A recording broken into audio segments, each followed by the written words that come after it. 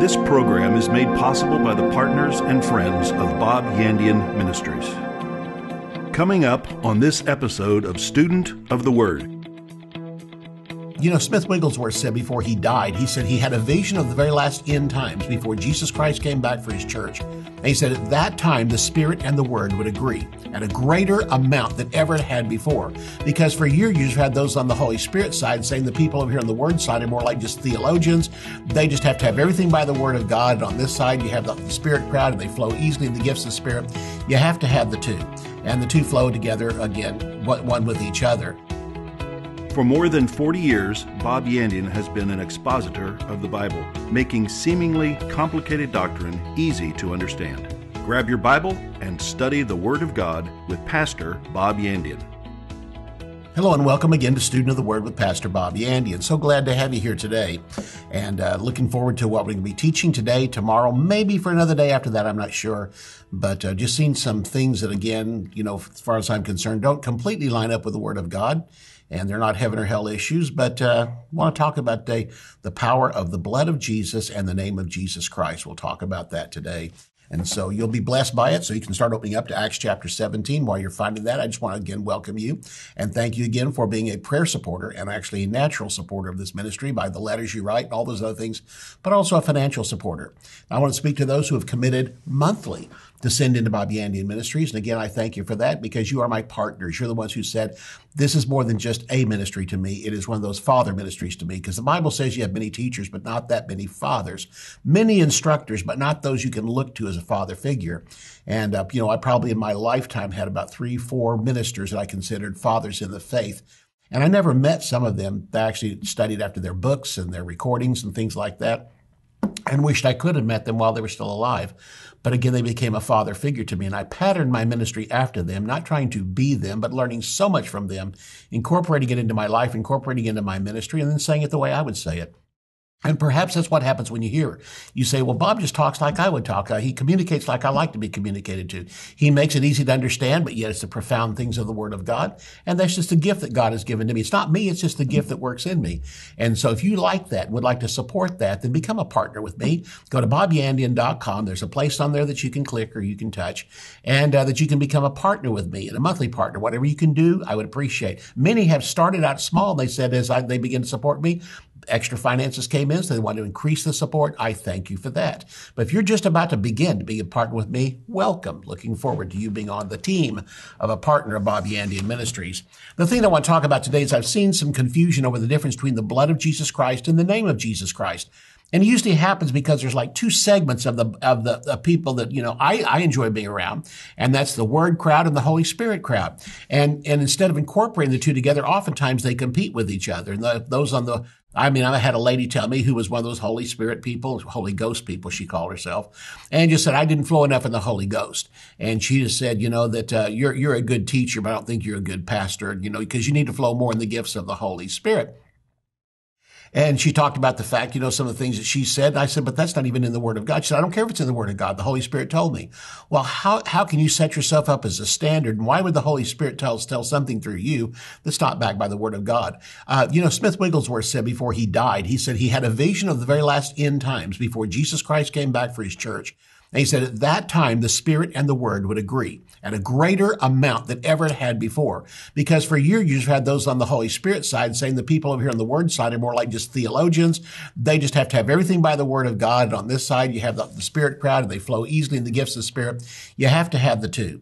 And the two flow together again, one with each other. And uh, I've had a person even tell me one time, said, well, you're just too word bound. I said, well, thank you. I consider that a compliment. If it's not found in the Word of God, that either you come back to your common sense about it or you just don't do it and or you don't make a big deal out of it. And one of the things that uh, has happened is people are drawing bloodlines and they're using the power of the blood.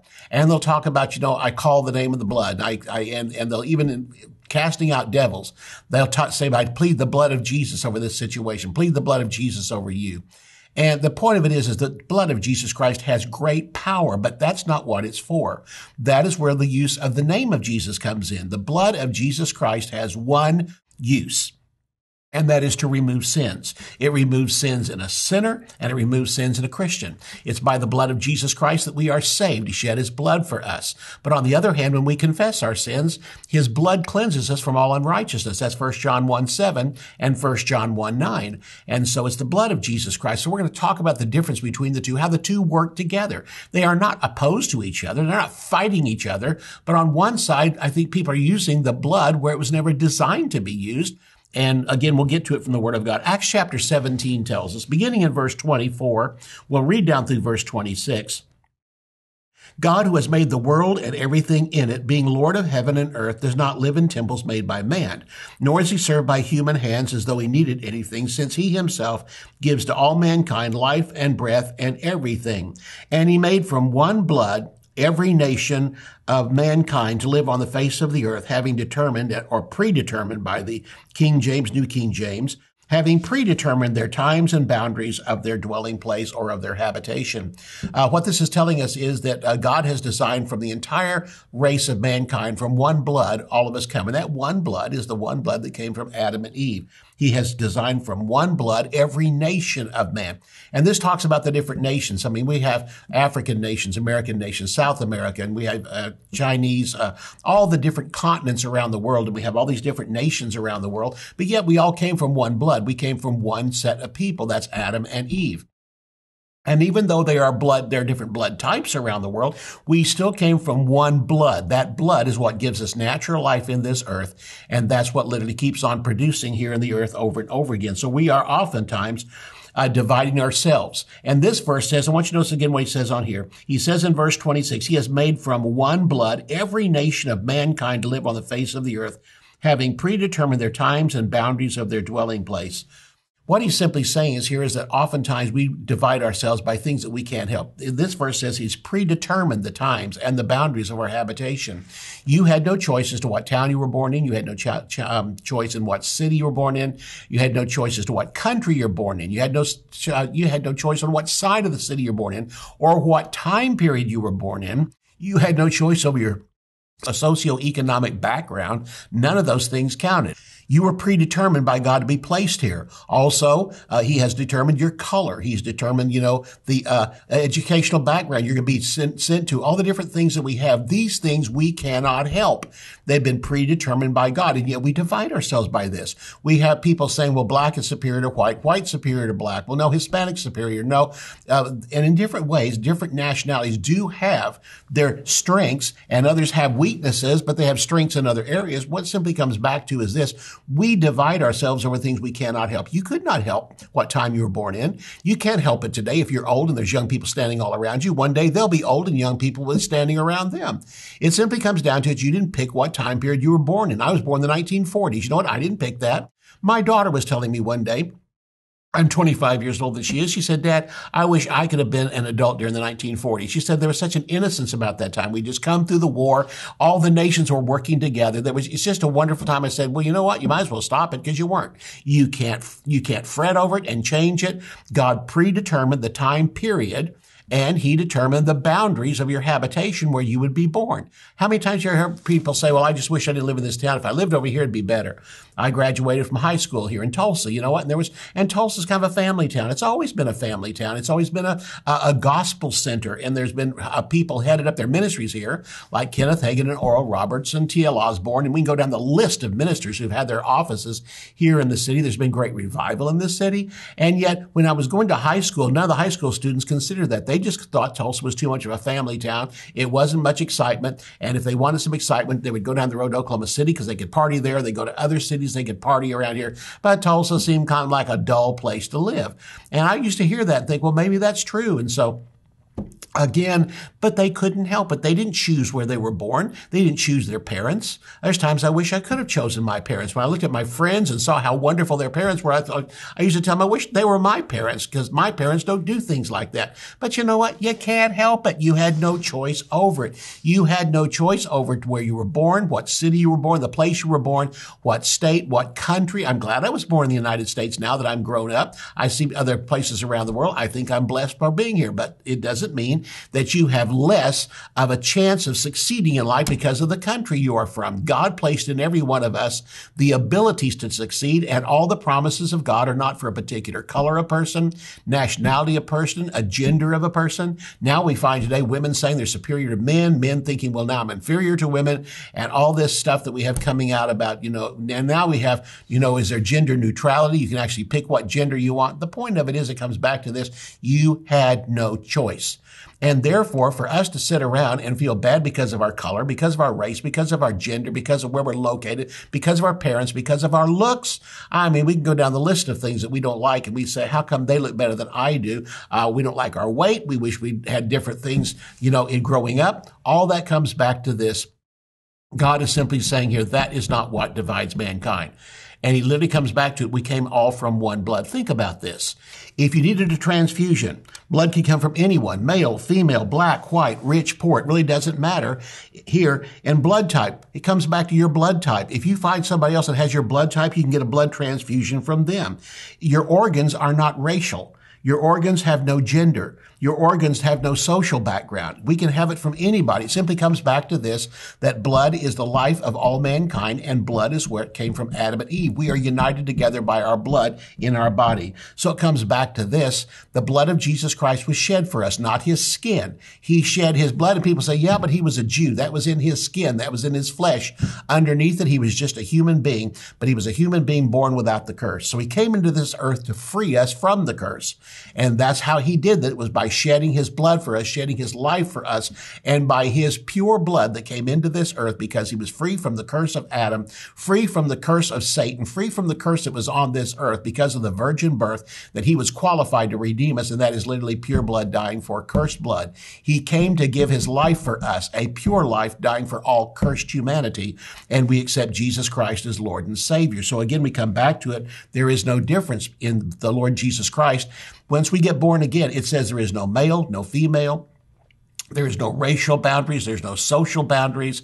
There's no educational boundaries. When you come to the Lord Jesus Christ, whosoever will may come and receive eternal life. When you go to heaven, there won't be a black section, a white section, a Hispanic section. There won't be a male, a female. There won't be a young or old section in heaven. We'll just all be in heaven, rejoicing around the fact that we accepted the death of Jesus Christ, raised from the dead for us so that we can find eternal life. You know, if somebody came to your house and gave you some money, you would look at them and say, ah, you know, you're not my color. I don't want your your money. Money is without color. Blood is without color. Life is without color. And yet, why would you complain to somebody about to give you $100,000 and say, well, you know, uh, did this even come from a criminal background? Money has no background. Money has no taint about it. I don't care if it was used in crime before this time. Money is free from all that. We can use it for wrong reasons.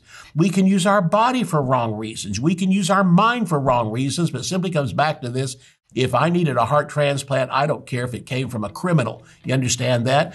Because the heart is not a criminal. That person decided to do those things. And the same thing comes down to money. Money does not have any background. It's gender neutral. And so again, it comes back. Money is without sex, color, age, or anything like that. Money's that thing. So is the free gift of Jesus Christ and his life for us given so we can have a ransom and we can have forgiveness of sin. See you right after the break. Understanding and using our authority is the difference between living a defeated Christian life and walking with Jesus in continuous victory and joy. Jesus has gone away to heaven, but he has given us the power of attorney to use here on earth. God has given us authority over all the works of the enemy. When we use his name, it is just as if Jesus is here, himself, giving us that authority. In understanding your authority in Christ, Pastor Bob Yandian explores that authority from the aspects of prayer, healing, and victory in the Christian life. This series provides a sound scriptural definition of what your authority in Christ is, how you can use that authority, and when you should use it. To order Understanding Your Authority in Christ, visit our website at bobyandian.com. Bob Yandian Ministries is training up a new generation in the Word of God. Because of your generosity and faithfulness, this teaching ministry is able to change countless lives. You will never know until you get to heaven how many people received Jesus, were filled with the Holy Spirit, healed, or found God's will for their life through your support and prayers. If you would like to become a partner with Bob Yandian, visit our website at bobyandian.com and click on Partnership. Pastors, if you would like to schedule Bob Yandian to speak at your church, event, or conference, go to bobyandian.com forward slash invite. I want to recap where we were headed to uh, just before the break. I do want you to get this particular series on understanding our authority in the Lord Jesus Christ, because we'll be getting into that when we talk about the name of Jesus Christ. Right now, we're talking about the blood of Christ that has redeemed us from all sin, redeemed us from our sickness by the shedding of blood and the stripes that Jesus bore in his body. That's for us. And so, again, what color uh, a preacher is makes no difference. I mean, if you were saved as a white person under a black preacher, praise God, because the message has no color. What color Jesus was makes no difference. His message makes the difference, and faith in him as the Son of God does. Blood is outside the prejudices of mankind. There's no such thing as black blood, white blood, old blood, educated blood, male blood, female blood. There's no such thing as that. It's simply blood. If you need that transfusion, can you imagine the doctor's about says, we, we found some blood for you, so you can have a transfusion. Say, wait just a moment. Is he my same color? Well, why would I want some other color? What if it was the person to have an education? He says, well, I don't know. Well, I want to make sure he did because I don't want to have some ignorant blood inside me. I want educated blood inside me. It wasn't a woman, was it? Well, uh, yes, it was. Well, I don't want it then. Are you, what's wrong with you? Simply comes back to this. None of those things matter because when it comes to accepting Jesus Christ as Lord and Savior, we simply stand before Him as we are. And Jesus died for all mankind and shed His blood. The thing that unites all of us together is blood, and He shed that for us. Again, as I said, He didn't shed His skin for us. He shed His blood for us. And so this particular series will tell you, and this teaching is on this particular series on the difference between the blood and the name of the Lord Jesus Christ. You need to have this particular series. I know every time I get on here, I tell you how important the series is. A book is is, a CD is, a flash drive, all these things. But you know what? The Word of God is something that lasts forever in your life. I'm not selling you National Geographic. I'm not selling you some encyclopedia that might be interesting at the moment, and then not true 20 years from now. I'm telling you something that stands forever, for all eternity. You can pass down to your children,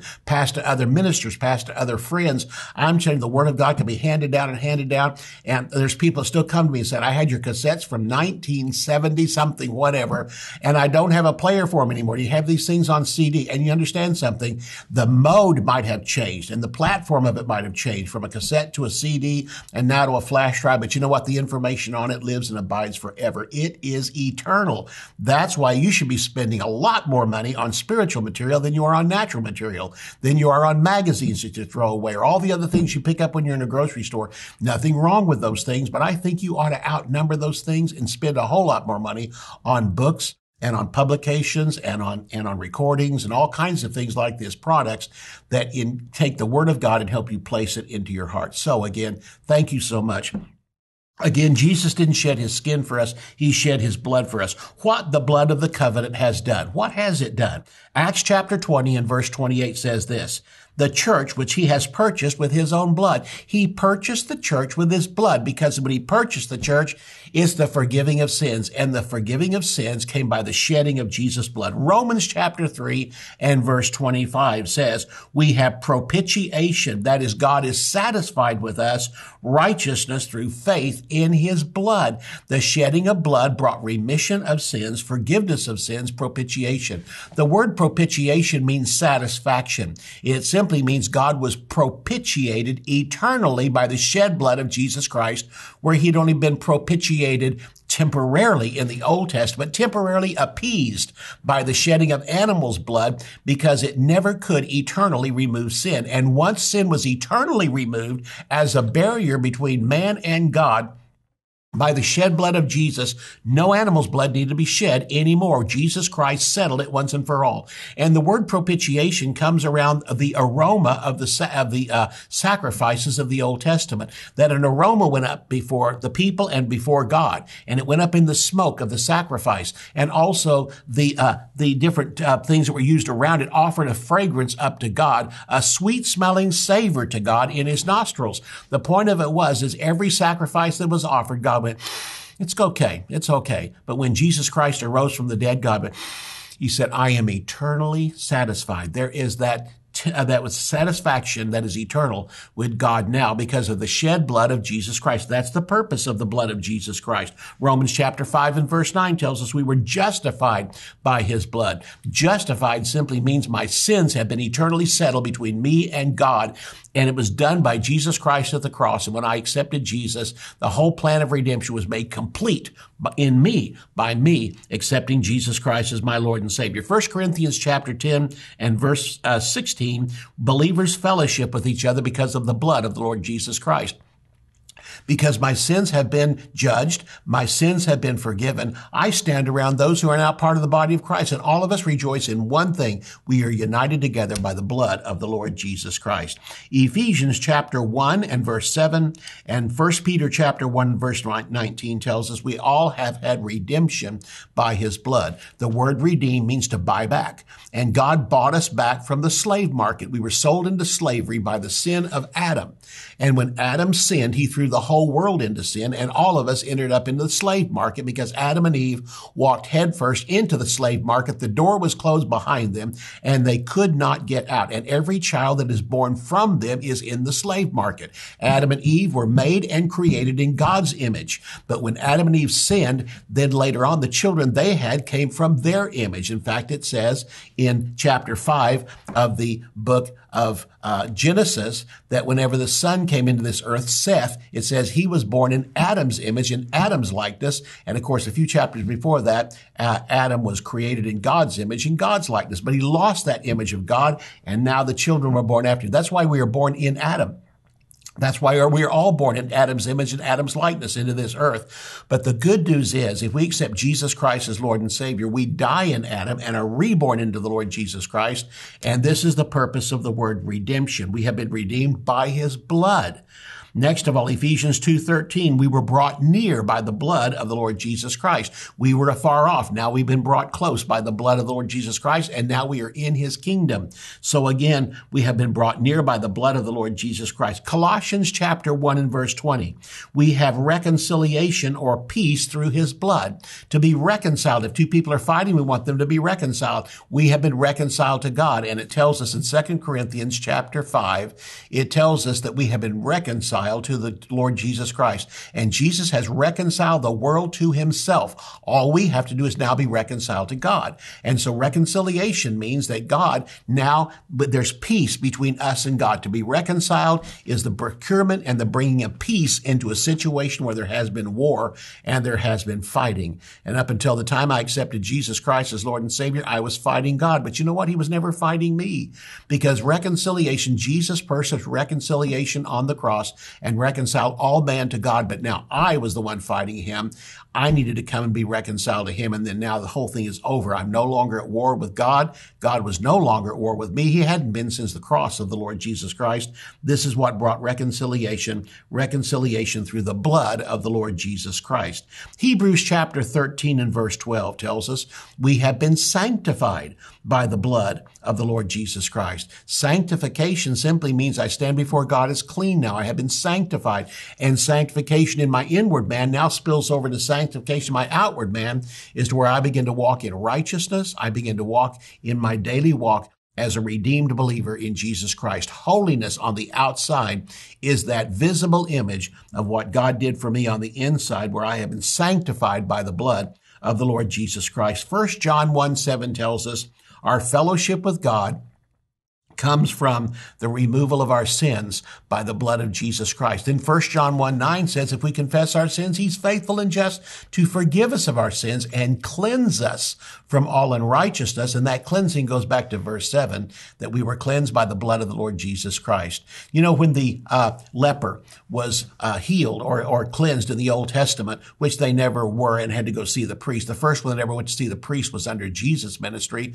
And that priest probably had to scramble to find where this was located when that uh, leper came to him in Leviticus chapter 14. But two were uh, cleansed in the Old Testament. The first one, Miriam, was before the law, so she never went to see the priest. And the second one was Naaman, and Naaman was a Syrian. And so he was no, didn't have to go see the priest because he was not a Jew. So the only two that were uh, delivered of leprosy in the Old Testament didn't go see a priest. The one that was delivered by Jesus in Matthew chapter 8 did go to see the priest. And if you go through that particular chapter dealing with the leper, the law of the leper, you'll find out that the priest had to go outside the camp to find the leper. And the leper out there would show himself. The priest would look at him. Then a, then a sacrifice was offered outside the camp. That allowed the leper to come inside the camp. And for seven days, he stayed around uh, by his tent. And he'd been shaved from head to foot, probably covered with something where people could come by and look at him because the priest examined him out here, but the people had to examine him in here. Out here, you've been saved, but once you come into the camp of the church, then people have the right to, to look at you and observe your lifestyle, and you can show them. But then there was another sacrifice offered on the eighth day. And it was called the sin offering and the trespass offering, as was the offering that was outside of the camp. In the Old Testament, Leviticus, Numbers called what was done outside the camp the sin offering and the trespass offering, but that was for sinners, those outside the camp. Once you come into the camp, there is another sacrifice called a sin offering and a trespass offering, and this is forgiveness of the sins of believers. Out here was the cleansing of sins and the forgiving of sins of an unbeliever. In here, now that you're a believer, believer, there's still another sacrifice inside because there is, there is forgiveness of the daily sins we commit as a Christian. Outside the camp, this particular sacrifice brings us into the kingdom of God and sends us to heaven. But inside the camp, sin doesn't keep you from going to heaven. It robs you of the blessings of the life that God has for Christians, prosperity and happiness and joy and peace, these types of things. And that's what sin robs you of in your own personal life and even hinders your prayer life immensely and so that's why we have the two. But in both cases, it was the shedding of blood. The purpose of blood is for forgiveness of sins. The shedding of blood is for the forgiveness of sins. And Revelation chapter 1 and verse 5 simply says that we are washed from our sins by the blood of the Lord Jesus Christ. And again, in 1 John 1 9, it, we are cleansed from all unrighteousness through the blood of Jesus Christ. So blood cleanses unbelievers and believers from sin. It brings sinners to the new birth, but it restores and keeps Christians in fellowship with God Himself, just like in your own family. You know, the parents have children, but there's times when children do something wrong. They're no longer, it's not said of them they're no longer children. They are children, but they are as children who have lost their fellowship with their parents. Something stands in the way and that needs to be restored. In other words, they're your children, but they have done something wrong and that needs to be settled. It's not an issue of whether they're your child. It's an issue of whether they're an obedient child and there's peace in the family. The moment that child says two words, I'm sorry, they're forgiven. And the parents forgive them and suddenly this thing is restored and that thing that barrier that that mist in the house that particular feeling in the house is gone. Because why? Now the kids came back into fellowship with mom and dad and mom and dad are back in fellowship with that child. That's what the blood of jesus christ does for a christian. We're going to continue on this subject tomorrow. I'll see you tomorrow. Have a great day Ministers, you can access valuable resources free at ministersclub.com. You'll find topical studies, sermon outlines, PDF books, answers to many questions, and plenty of encouragement, all free. Just go to ministersclub.com.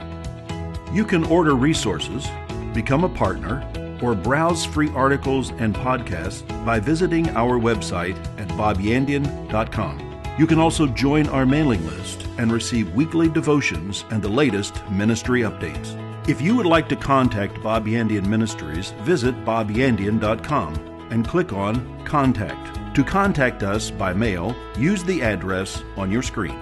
Thank you for watching today's broadcast. We'll see you next time on Student of the Word with Bob Yandian.